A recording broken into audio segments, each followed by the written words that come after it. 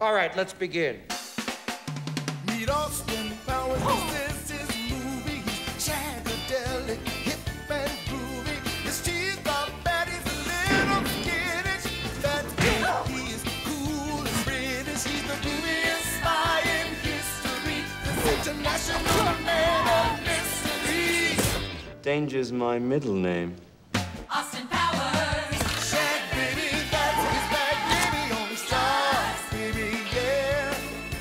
Now Doctor Evil, he's got no hair, but he's got henchmen in his underground lair. He wants control of the world today. Someone always seems to get in his way. Austin Powers has deduction. He's gonna save the world from nuclear destruction. There's nothing more pathetic than an aging hipster.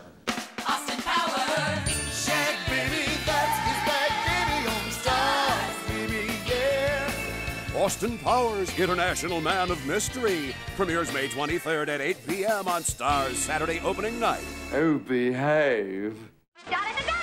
Introducing. That's Lucy. She's on television. No, it's Lucy Vision. Ay, ay, ay. 13 hours of marathon madness featuring. And.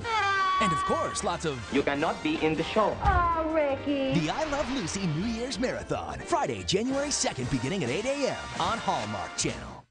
Roy Munson, preparing to bowl, looks a little nervous. That's right, Roger. The crowd's getting to him, and he hasn't bowled a major tournament in years. Well, let's not forget what he went through to get here, Jim. Oh, absolutely. A promising rookie several years ago. He got his hand ground up in an unfortunate ball return accident. Oh, that had to hurt. Oh, yes. And recently we understand he was punched in the stomach, kicked in the groin, ah. forced to have sex with his landlord, mm-hmm. and spent time impersonating the Amish. Huh, well, I can understand his trepidation, but it looks like he's going to go for it. Yes, he's very determined, and there he goes. I don't believe it. His hands come right off with the ball. Wow, look at that. Bad luck. But it's a strike. Unbelievable. Oh, well, the crowd is just loving it. You know, with men, there's always a, there's a choice. It's just a really weak selection. You put in a personal ad for me? If you're not going to help yourself, I feel as your mother. As my mother, as my as my pimp is more like it. No straight guy in his right mind would blow off a woman like you. You're the most beguiling woman I've ever met. What's your name, gorgeous? You're a very attractive woman. I'm lucky, you know, because I have more than determination. I have determination plus talent, plus like a natural intelligence, and then sort of a street savvy. Just like the expression, uh, consistency is the hobgoblin. Consistency. Consistency is the hobgoblin of little minds. You're starting to glaze over. I see it. Don't worry. Happens all the time. I'm not offended. I'll tell you why. It's because most people are blind to the impact that small rubber parts have in their daily lives.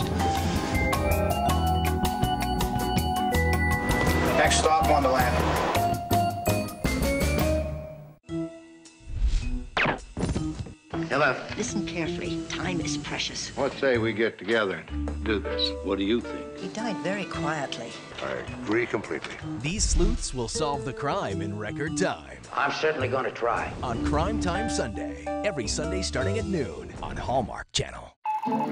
This is a Starz Family News Brief. In 1962, due to a freak accident, the Weber family of Los Angeles, California submerged deep into their bomb shelter where they would stay for the next 35 years. During this time, they danced, prayed, learned German, Haben Sie etwas, nenne Sie Lehre? and drank hot Dr. Pepper in preparation for the day they would emerge from their isolation to once again live among the people of the world.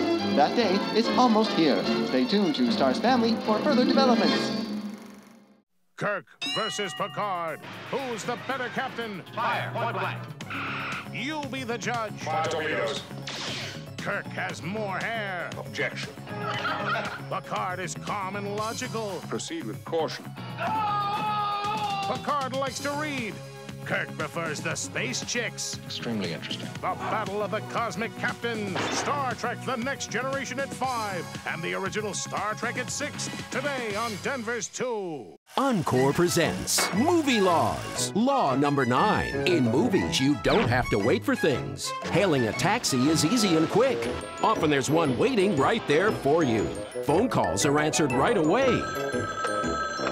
Right. You never have to wait for a table at a restaurant. Just tip the maitre d' and walk right in.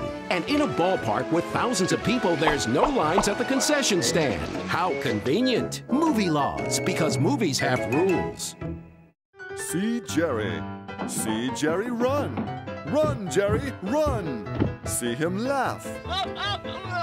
Scream.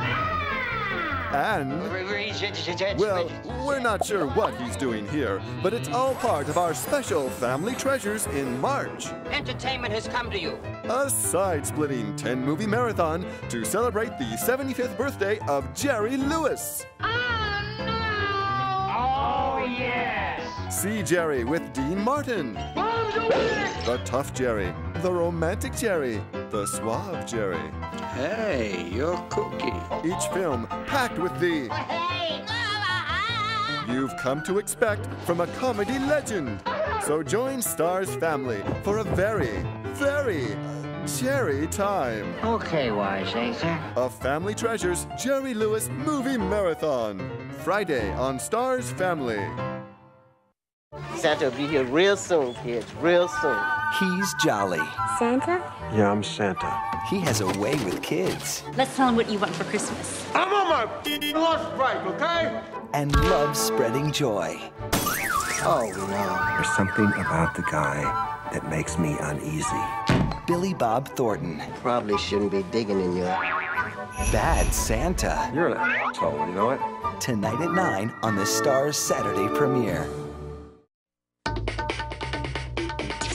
Hello, everybody. I'm your old pal, Greg Proops. You may know me best from Whose Line Is It Anyway, where I'm not the tall guy, the bald guy, or the black guy.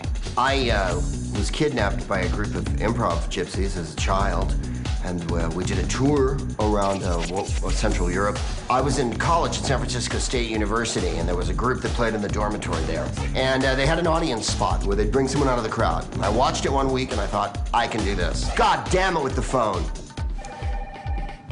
It's a particular skill, uh, and I'm not saying it's difficult. I'm just saying it's it's a particular skill. There are improvisers who don't do stand-up, and there are stand-ups who don't do improv. And it's probably just as well. Improv is the river. It's ever flowing. You dip into it, you come out of it. You're in a band.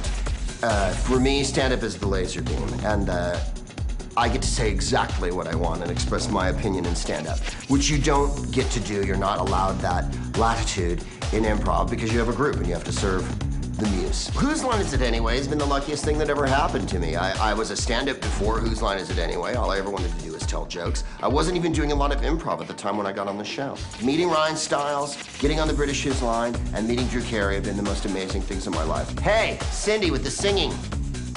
It's a happy club. People get up in the morning and sing here. Comedy works.